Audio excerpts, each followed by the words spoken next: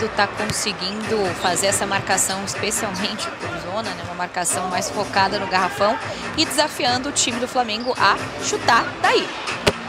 E agora cai. Converte finalmente a bola de fora aqui, Deodato. Volta a quadra, o time do Flamengo ataca 31-14. Cai a bola do Gui Deodato, bom arremesso de três. E a galera lá de Marabá, no Pará. Pessoal do Flamar. Gui Deodato, posse Flamengo. 10 segundos, vai ter que chutar. Vem o arremesso de fora! Didi, passe atrás ao Gui Deodato. Gui tá quente.